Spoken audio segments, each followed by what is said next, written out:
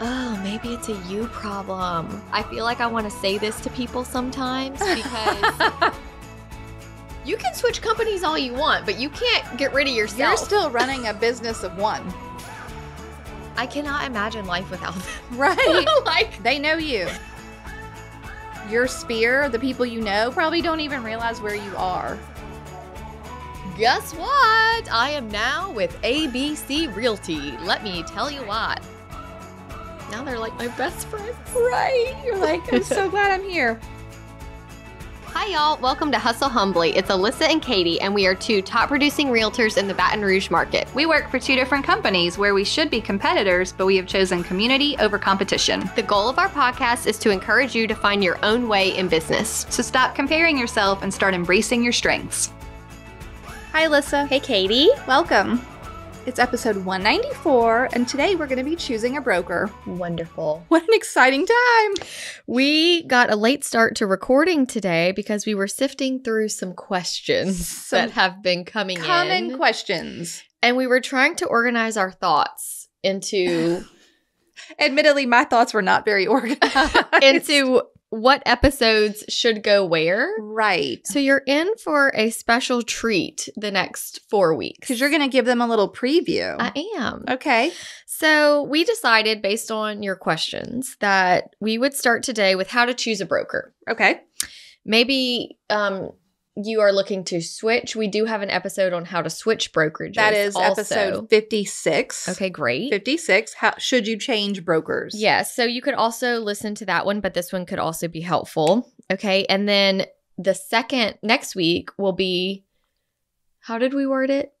If we had to do it all over again, If we had to do it all over like again, if we restarted our business what would we do different from zero, Yes. what would you do? Mm-hmm. Or maybe the same. Just what would you do? Sure. Okay.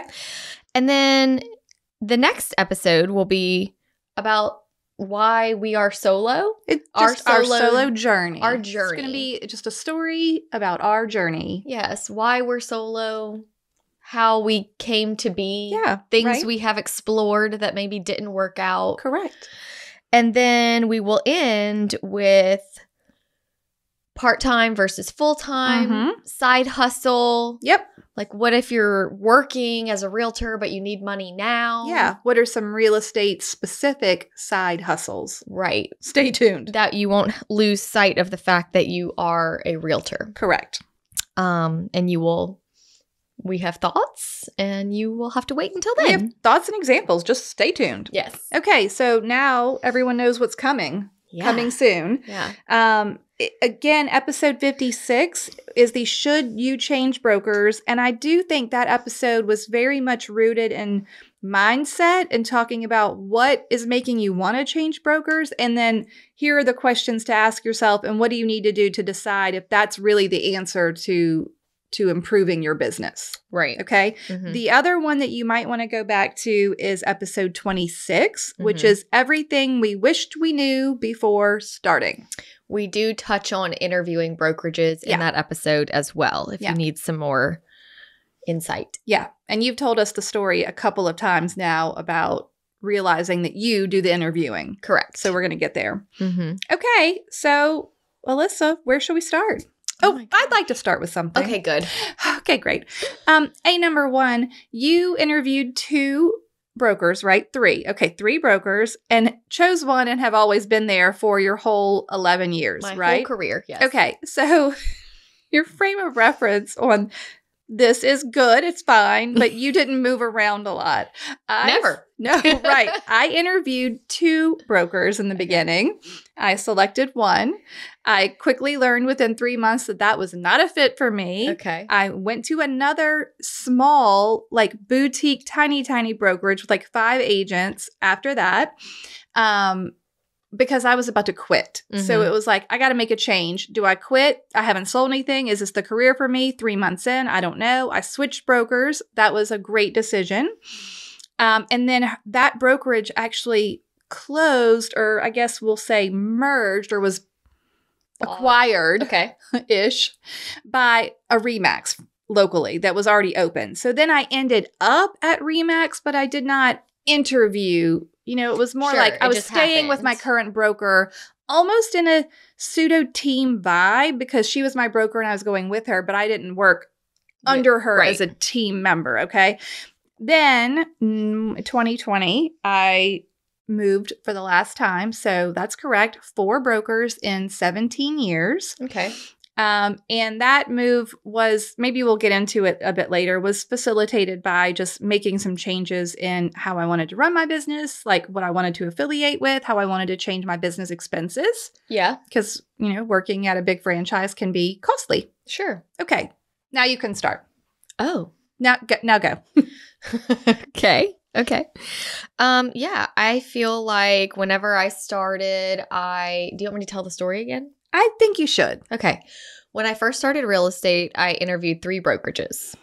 I was just getting out of grad school, and so I was coming from more of a corporate mindset. Mhm. So, job interviews were very present in my life at that time. you were prepared to be interviewed. Yes. Yeah.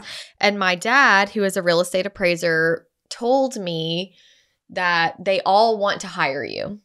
You're not really going to be interviewed as much as you are going to interview them. Right. And I thought, okay, that's good to know. I really had to shift my mindset.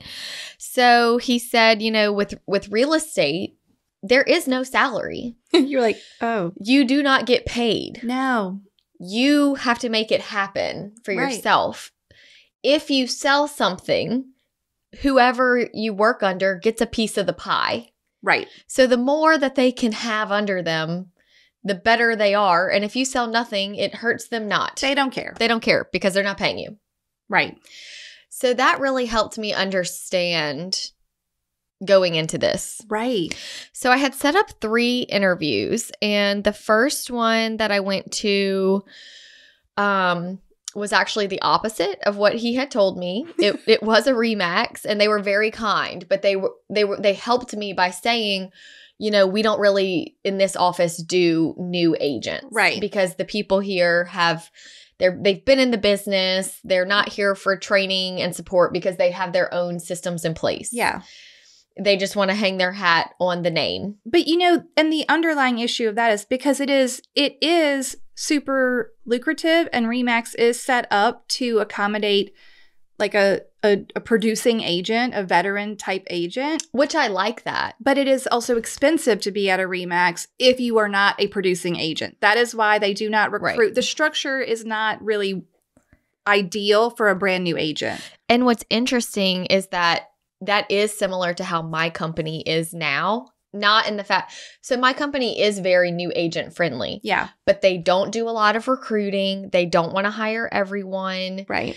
Um, they aren't looking for quantity over quality. They really like if you know at the end of each year, if you haven't sold a house at all, they they might be having a chat with you about is this the best place for you? It's obviously not working for you. We Right. want you to be successful. Maybe somewhere else would be a better fit. Yeah. So I appreciated that I was given the truth and um I actually find them very similar to what how we are also on Yeah. the experienced agent side. Yeah. Okay. Okay, then I went to company number 2 Mhm. and it was just very different, very exciting Mm-hmm. big numbers were discussed about what your potential income could be. The sky is the limit. Just all, you know, so exciting. Yep. Sign here. Sign here. And I really was like, You're like, it's going to be so fun. yeah, this is going to be great. Yeah. But Mhm. I still had one more interview, which was with my broker that I'm with now. Mm-hmm. And when I sat down with her, with Connie, who we have interviewed before, Mm-hmm. she immediately jumped in. I mean, I'm sitting in her chair as a single 22 year old. Right. So she's immediately jumping into Do you have savings? Can you support yourself financially? What is your plan? Right. And she, to this day, is very adamant about having a business plan, treating it like a business. And I thought, yes, this, this is clicking with me. Right. I need to think of it this way. Yeah. I'm not here to have fun. I mean, it is, you know, but I'm here as a figuring out what I'm going to do with my life as Right. a career. Right. So I need to think about it as a business. Mhm. What how much money do I need to make? How many houses does it take to do that? And how do I get those clients? Right. So she was really the most realistic, Mm-hmm. encouraging, but also like this is what it's going to take. And I think that that is what helped me be successful early Yeah. because anytime I had a disappointment happen, Mhm. or a friend that didn't use me, or a family member that thought I was too young and didn't use me, I remembered being like, she said this would happen and it and it is It is, happening right. you know like it i was prepared for it i mean it still Stings. stings Yeah. but um i just felt like she set me up for what i needed to know so that when the hard times came Yeah. I was pr- I knew that they were coming. I wasn't blindsided by how hard those first 3 years were. Do you think that you were a harder worker because she told you it took work? I I do. I, I, I truly think that is the case. Like, Yeah. she didn't say, come here, rah, rah, and it's going to be great and you're going to make all this money, easy peasy. She was like, this is hard. It's going to be work and you, it's not going to be immediate. Sure. Okay. So I was like, okay, well that's good to know. I was, you know, at that time still bartending, waiting tables and figuring out at what point I needed to let that go. And she was the one who was like, you need to figure out a number Mm-hmm. And when you hit that number, you cut it off.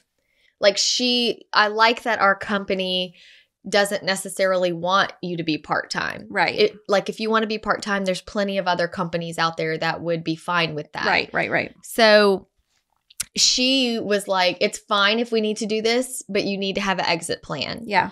Like, we're not going to do this forever. If you want to be a realtor and actually make real money, then you're going to have to jump in Yeah. at some point. And I was like, okay, Okay. okay. Right. And then we kind of had to get together with a plan on what that looks like. Okay.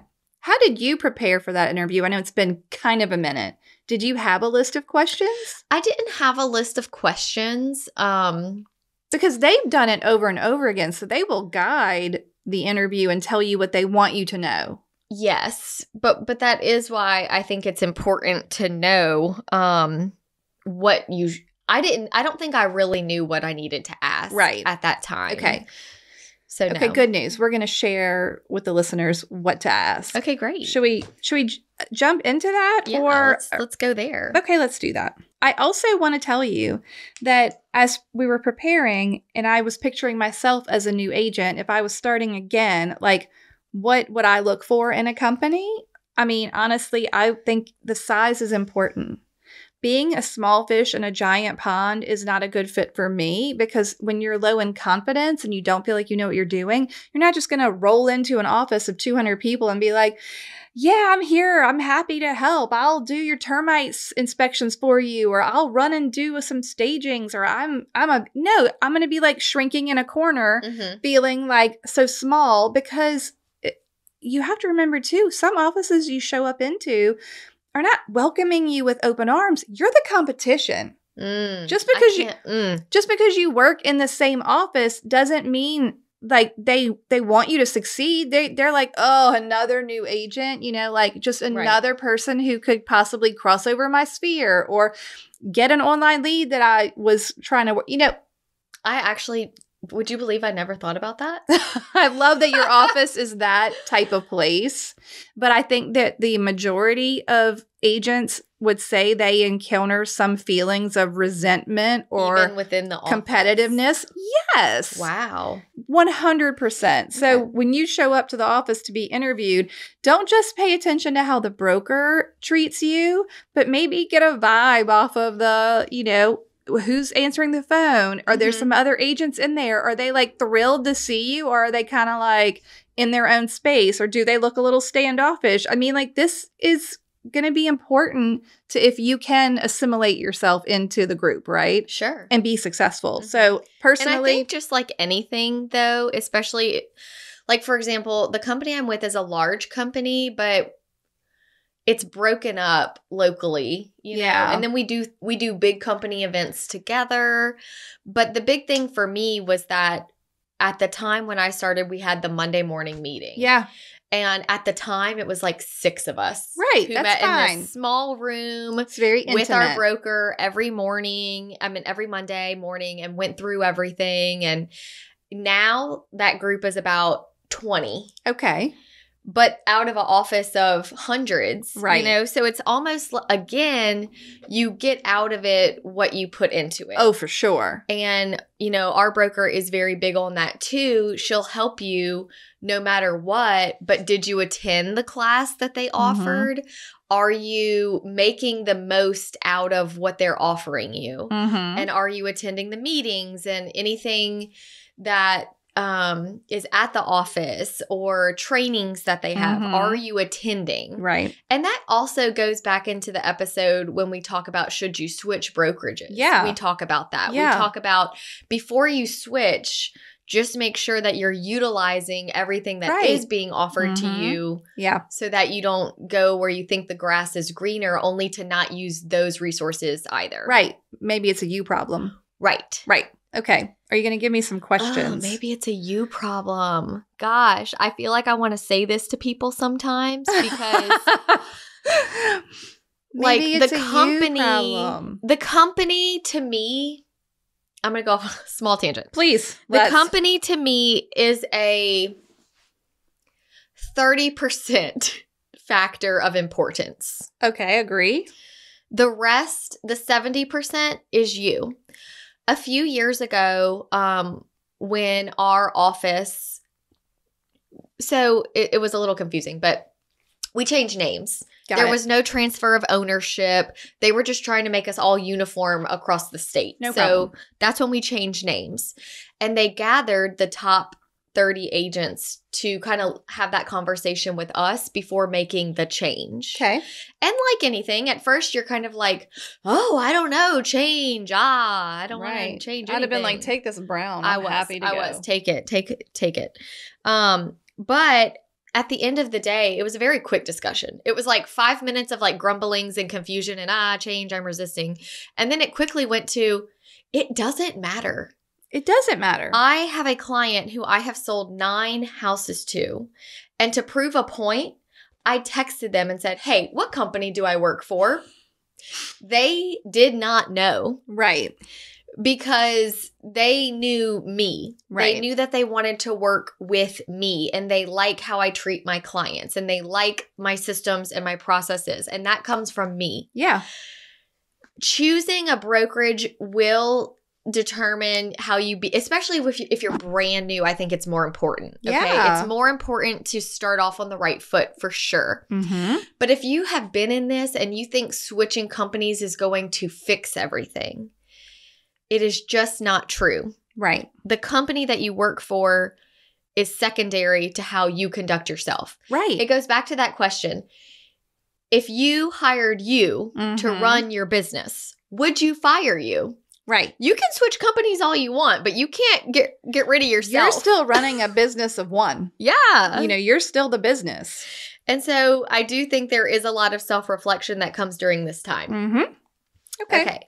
So when you're interviewing brokers, understanding how you get paid is important. Yes. It is a business decision. Yeah. You need to understand. Right. Okay.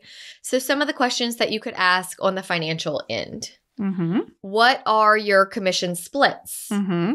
60 40, 70 30, 80 20. You know, there's splits, but then there's also fees. Right. So, Right. outside of your 80 20 split, Mm-hmm. is there a transaction fee? Is there a desk fee? Is Mhm. there a franchise fee? right? Is there an admin fee? Is there a coaching fee? Right. Is there a tech fee? Right. Which ones are required? Right. Do I have to buy your CRM that your office uses? Right. Right. Um, do I pay for my own signs and lock boxes? Like right.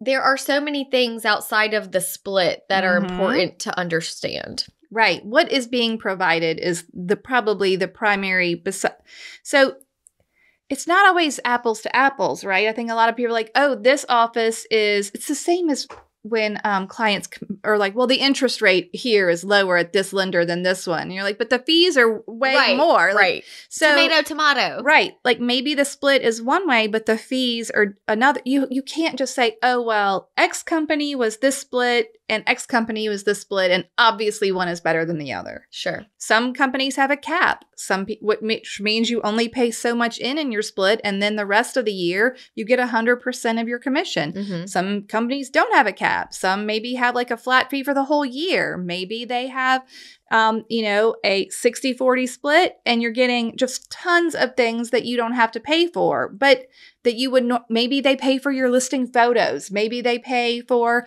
your signs and your lock boxes. Maybe Mhm. they pay for you to have, you know, mailers to your database once a month. I don't know. Mhm. Like you have to get all of the details of the financial part to be able to compare two companies. Sure. Y- there's no way you could just hear the split Mm-mm. and know like is there a transaction fee so if i'm a higher producer do i Mhm. have to then provide that fee more often hmm you know if i'm only selling one house a year and the transaction fee is $200 a transaction that's $200 if i'm selling 10 houses it's $2000 So with the co- you've been at a few, yep have they been significantly different? Yeah huge Huge difference. hugely different Okay. in fact um, and you cannot just also say oh remax is this Okay. No. because Remax is a franchise, just like a Keller Williams is a franchise and a Coldwell Banker. There, that's why everyone says independently owned and operated. Mm. Every single office can have a different structure. Are there probably some parameters set in place by that ultimate company, like the biggest? Ver- yeah, maybe so. Maybe you can't give a split better than 70 to 30. Maybe you can't give a split better than 80 20. I don't know. Mhm. But every single Remax office is different. Sure. So even if their split was the same, their fees could be totally different. Maybe that office is in a nicer part of town. Mhm. Maybe it's a bigger office. Maybe they provide three admins. Maybe they do all the transaction coordinating. It's almost the same as interviewing at a bunch of different independent brokers Mhm. because their offices are all run differently. Sure. So it was at my office when I was at Remax, there was a split for agents who didn't want to pay the large office fee. Yeah. Okay. So I had to give more of my money back. Or there was the very high, like split to me, where my desk fee or my office fee was bigger. Right. But as a producing agent, it was a no brainer that I would pay the bigger monthly fee Mhm. because I knew that when I got those commissions, I was getting the large majority of my money. Sure. And I knew that I was going to be producing. So why wouldn't I? And I had to pick a time to switch. I didn't start off that way. And I think that's a great point that you made is that you were at a point where your business was established. Yeah. So you knew your production, you knew kind of your average each year, and you knew an income to use. I really admire this one agent um, that I have met recently in our marketplace. She just switched companies, um, but she really inter like kind of the second time around she knew now Mhm. she's a brand new agent the first time yeah. now she kind of knows what she what she needs for her business what she needs for herself so she really i was so proud of her did her due diligence and it was between these two companies Mm-hmm. and i will tell you she chose one that had a um higher or a lower split so she was actually not choosing the one that put the most cash in her pocket Mm-hmm. but she really liked their education calendar and the training that they did and that they had stuff in the office like she knew for herself to be successful Mm-hmm. Right. she needs an office where people are in the office and she needs to attend things in person Right. and that she knew she would make more there because of what they offered Right. And i thought gosh it was so refreshing Mhm. to hear someone make a decision not just based on you know Right. 80 20 But I will say, I think that it goes the exact opposite way sometimes too. yes They're like, oh, well, I was promised all these fun things in the office and all of these classes and all of this community Yep. and all of these whatevers. And I'm I'm willing to give 50% of my commission up to the office because look at what they're providing. And then Mhm. you get there and you don't use those things, you have to then you're them. just giving away 50% of your commission for something that you're not utilizing. So that is a problem. and something else that i had made a note on for this is don't feel like you have to rush this decision right. After you interview, you do not have to make a decision. Ask if you can attend a sales meeting. Yeah. See how many people attend the sales meeting. Is the information valuable? Yeah. Do you feel like you would get something? I mean, you can't use all their resources and attend meetings for a month, but one meeting at Mhm. the company will really introduce you to the culture, to their Mhm. teaching style. Um, ask to tour the office. You know, are there agents working in the office? How do the agents react to you when you take the tour? Yeah. Are they kind? Are they helpful? Um, meet the staff that works in the office. Ask them what they do. Mm-hmm. Um, ask them how long they've been with the company. yeah. These are all questions that I think are very important now that I have been in it longer. I realize like my secretaries in my office are the same ones that have been there since I started. I mean, that's crazy. I cannot imagine life without them. Right. like they know you.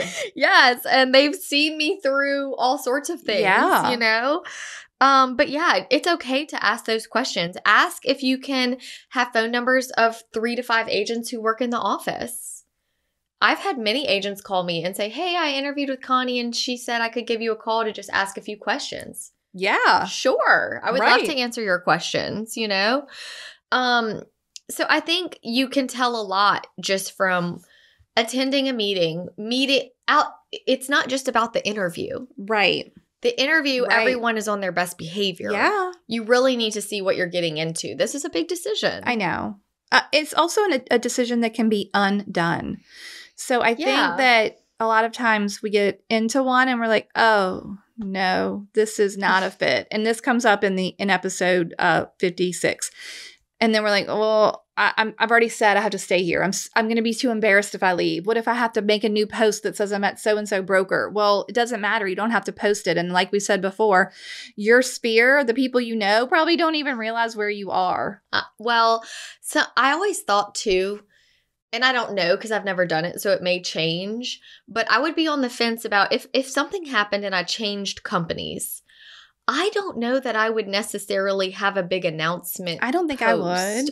I don't think I would be like, guess what? I am now with ABC Realty. Right. Let me tell you Right. why. Like Mm, nobody No, cares. they don't care. no, my clients don't care. No, it's not doing anything for them. No, it's it's about if they want to work with me or not. Right.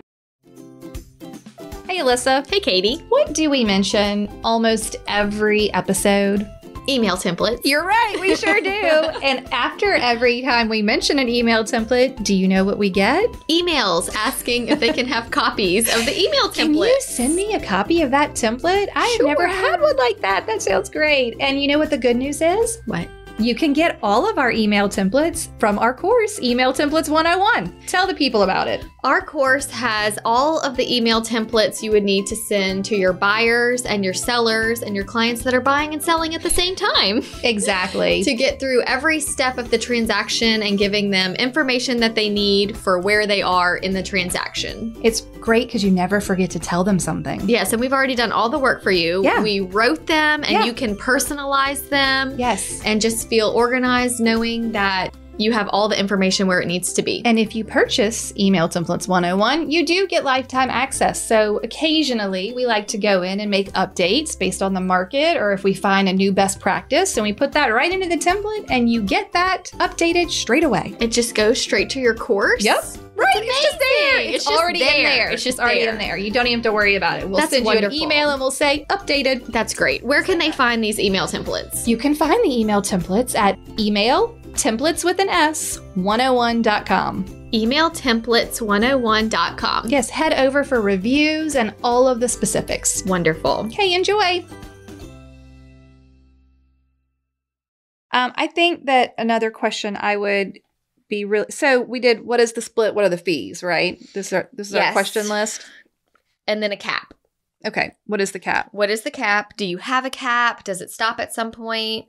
And then ours too. What I what I found that so even though I've been with one company, there has been two or three times where they tweaked things. Okay. Always for the better. I The feel. structure. Yeah, and sometimes it was like tomato tomato to me, like You're like, all right, whatever. whatever, kind of came out the same. But they switched to where you start your split based on how you did last year. Okay. So the more you sold last year, Mm-hmm. if you sold really well, maybe you start at 85 15 Okay. um, and then you jump up. What if whatever. you have a bad year? Then that year, does the split go like down again? Yes, you always. so every year it starts every different year. Yeah, but I mean, mine doesn't because you're consistent. I'm consistent. Right. Okay. And I think that is the culture that my office is trying to invite with Right. this system. They want producing agents that are consistent and treat this as a business. I think that's the same thing with all Remaxes. right. They're, Same. you're you're attracting a consistent agent because the way the pay is structured, it only makes sense for agents who are consistent. Correct. Okay. And so I thought that was interesting. Yeah. So and I only share that example to say there are so many creative things. There are so many plans, commission plans out there Yeah. that we would never be able to cover all the different scenarios. no, no, no, no. And no, new companies are coming up all the time. Like these big, different, interesting, you know, they give you other things, right? They're Mhm. going to give you a stock option or a, you know, some sort of revenue share or some other stream of income. I mean, you have to take it all into account. Mhm. Um, and ultimately, though, it's the money plus the other things. What is the culture? What like what are the? It's not one thing, right? Like we can't just pick one piece of a broker and be like, oh well, I have to go here. When you talk to a broker, just make sure that are they getting paid if I What's the intention? Is What is your heart in the right place? Is your heart in the right place? It's fine. My next question would be for your broker that you're interviewing: How many agents are in the office? Yeah. how many are there? And then I would ask, how many come to the meetings? Like, how many are participating on a regular basis? Because there may be a hundred agents in the office with a core 20 that show up for everything, right? Right. So it almost feels like you're in an office of 20. And if you're looking for a mid-size office, I think 20 is a great number. If you're worried that 100 agents are showing up to everything and you're not the most confident and you don't want to like stand up in the room full of 100 people and say this is what my buyer's looking for or whatever the process is Mhm. then you need a smaller office but what if there's only 20 people who are coming Sure. so i think that i would want to know that someone is showing up but that maybe if there's a 100 maybe i don't want to be somewhere where a 100 people are showing up. Hmm personally me. But you want to ask how many agents are here and how many are going to come to you know events? Sure. okay what's your next question on your list? Um, if I have questions outside of business hours, is there like someone I could call if I need help with a contract on the weekend? What Mhm. kind of support do I have Yeah. as a new agent when I'm trying to figure something out? right Maybe they have a mentor program. Yeah. Or you follow someone in the office. Um, what types of classes do they have and how often? Are they online? Are they in person? mm-hmm. Uh, so really figuring out like the education and the support Yeah. aspect of it. Um, are there any meetings that are mandatory to attend? Sometimes I think that's kind of gone away, but yeah like for example, we used to do office tour, Mhm. okay, where a- after sales meeting on Wednesdays we would tour some of the new listings. mm-hmm. But to have your house on tour, you had to be a tourer on other weeks. yeah So it was kind of like, you know, we help each other out. okay Um, I would like to st- say something about education. Okay. While we're on that, um, I think it is also common in real estate that franchise, small offices, whoever, feel like providing education is one of the biggest items of value they can give in order to attract agents and retain agents. And it does get to a point where there can be too much education. There can be too many options. It can get too overwhelming once you're there. If there's a class every Tuesday and Thursday and an online program and a whole um, university of information, like this is a bit overwhelming as a new agent when you're trying to sort out what do I need to know. mhm. Okay. So if you're new, new, like you're brand new, you need to also find a broker that's going to be like, this is the success path. Mhm. These are the things you'll want to do. Like, Sure. these are the classes you'll want to take. Yeah, sure. Occasionally we have something on an off topic that isn't like a primary focus of how you do your job. But here's the XYZ, the ABC, whatever, of you getting started. If your new broker can't tell you what the path is for you as a brand new agent to go through this you know, these steps, it's going to be very hard for you. Yeah. You can't just jump into the middle where people are learning about tactics for for sale by owners or um, how to call expired listings or here's my very specific marketing plan for a listing. Like these are super in the weeds. What if you don't even know how to meet a buyer at an appointment and show them a house? Sure. What it, like what if you don't even know what you have to share with the seller as far as disclosures are when you go to list a property? Mhm. Like you have to know the basics and it's all the stuff that they missed um, in real estate school. Yeah. But they sometimes also miss when you just jump in with everyone who may be further down the path at your new office. Mhm. There's a there's a break there Yeah. where it's like I need to know the basics of how to perform all of these tasks. So just make sure that you don't go somewhere that has all the education. Do they have the right education for where you're at in your career? Mhm. Okay, that's my side note on education. I think it's good. Okay. Um, how, as far as who is in charge, the office manager, the broker, the go-to person at your office, how present are they? Like I had, I've been taken to arbitration before, in which Yeah. your broker is supposed to attend with you and Right. basically act as your attorney of Yeah. sorts in real estate court. Right. Um, I had never been so happy to to be where I was in that time Yeah. but I also know that I have I've had issues before. Like we had a issue with a contract, and me and the other agent were working together on how to fix it. And I said, "Well, what does your broker think?" And they were like, "Oh, I'm I can't call my broker about this." I'm like, wow, I need to be able to call my broker Right. or some managing person about contract issues. And I also feel like that is something you don't think about until you're in it. yeah, and then you're like, wait, who do I ask about where this, what blank this goes on, Mhm. or where, what I need to do for this, or Mhm. how do I handle a specific situation? I'll situation? get random emails from Connie being like, "Hey, I don't like how you word this when you write it in your contracts. Can you be sure to write it this way?" Like, And I'm oh, like, "You look at my contract." I'm sorry. like she's reviewing things. That's like good. how on top of it are how involved are they and Right. making sure that you're protected. Mhm. Um I thought too something I found interesting from someone that was also just looking at a new switching switching companies was how many new agents do they have right now? Cuz that kind of shows Yeah. like um how are there how many people have been there longer than 10 years? Yeah. What is the turnover? Like right. how I think knowing how long people have been at that company It's and what their track record telltale, is. yeah. Yeah. Mhm. That was a big decision in mine, Yeah. you know, is that a lot of the people that have been there, there's not a lot of turnover here. Right. And they have been there for decades. Right. They're happy there. Yeah. Yeah. You know, it, it's just good, something to look at. Mm-hmm. Let's see, what else? Um, okay, well, let's go back to meetings, uh, education, community opportunities. I would ask, how often are are things offered? What kind of things are they? Is it a you know group yoga class? Is it another class about you know flood insurance that I don't want to go to? Like what Sure. what are the things that you're doing? What are the events? How is community being built there? Because you 100% need the community. And when we go into our solo agent episode, we're going to touch on this more. But you cannot go to an office with five people who never meet if you need some assistance. There's no one there. You know, like Mhm, who's going to do, who's going to run and do a showing for you mhm. if you are sick?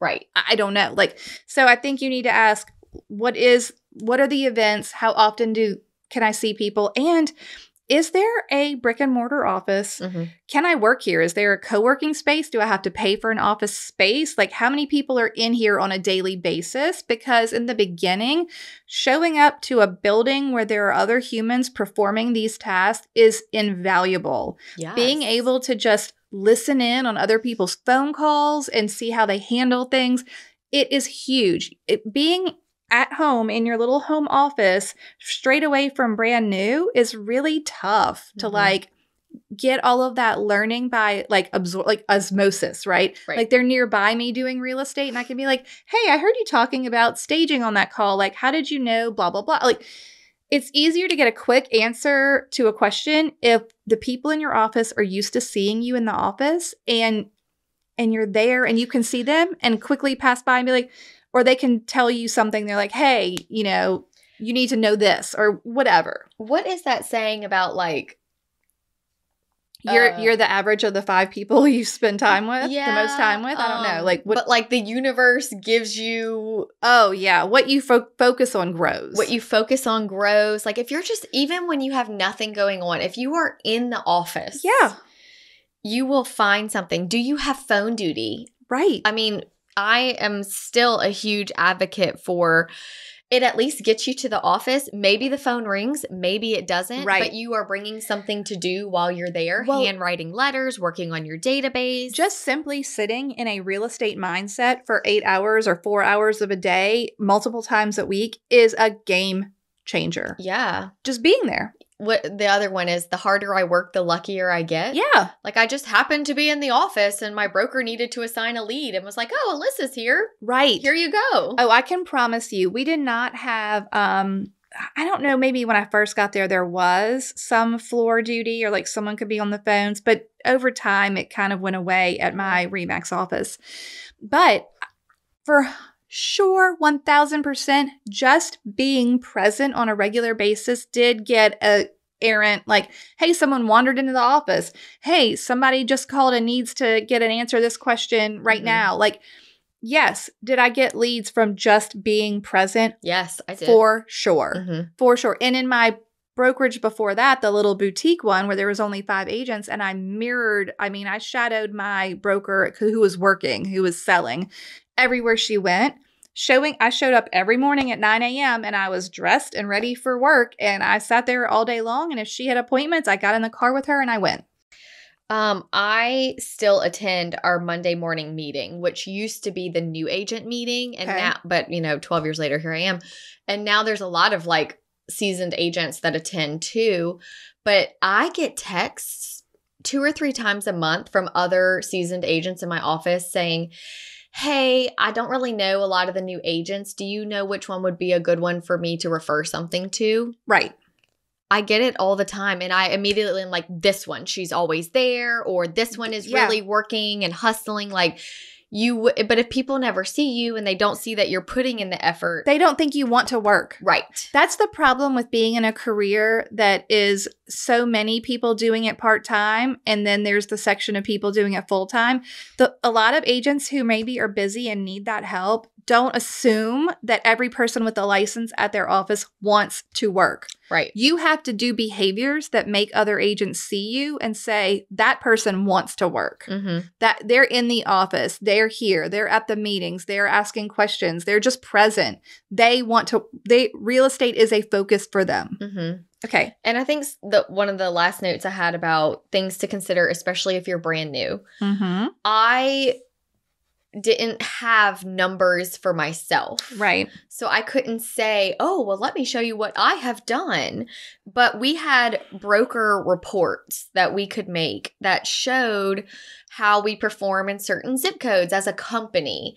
And so my first few years, I was really trained to say, my company does X, Y, and Z. The marketing plan of my company is this. Every Wednesday, my company has sales meetings where we talk about upcoming listings. Like these are our numbers from last year. So I was really able to get good at speaking confidently on behalf of the company. Yeah. And then as I got my own numbers, I kind of like had a hybrid.